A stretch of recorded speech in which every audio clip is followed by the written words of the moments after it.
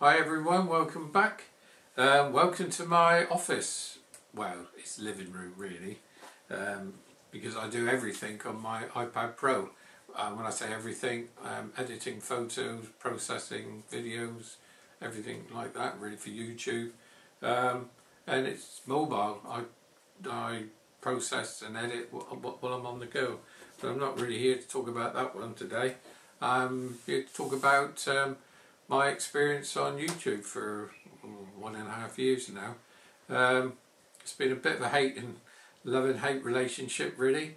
Um, on one hand I love it, um, producing, um, you know, showing you my images and and um, and I enjoy videoing but not really both. That's where the hate comes into it really, maybe a bit too strong hate but um, not so enjoyable shall I say.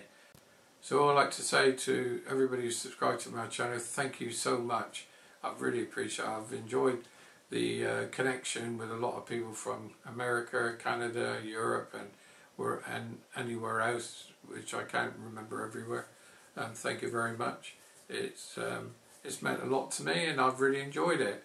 Um, but it's it's time for me now to go back to my roots, my passion, which is just photography because I'm not a YouTuber and I'm definitely not a vlogger. Well, there you go. It's the end. Thanks for watching. Take care. All the best.